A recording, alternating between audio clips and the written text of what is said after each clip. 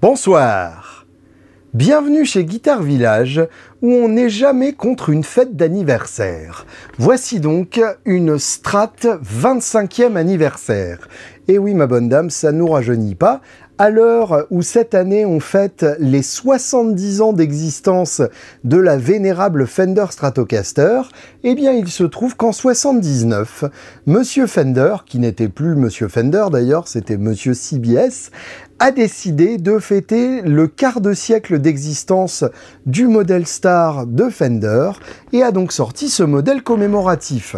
Donc les 25 ans c'est en 1979 et euh, c'est une Strat qui a beaucoup d'attributs typiques de cette époque-là. Alors le poids déjà, il faut le dire, la grosse tête avec le logo noir, de toute beauté bien sûr, la plaque noire avec les caches micro noirs, et même le bout du vibrato noir, donc tout noir typique de l'époque, et bien sûr ce son ultra claquant creusé qui fera des merveilles dès que vous jouerez en rythmique funky.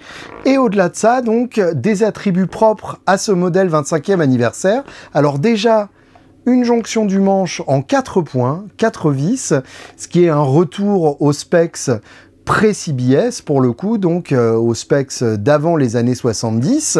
Et puis cette finition silver métallique absolument superbe qui n'existe que sur ce modèle-là. En tout cas, à l'époque, il y a eu depuis euh, des, custom shops qui reprenaient cette finition, mais la couleur silver métallique, donc, c'est bien cette 25e anniversaire.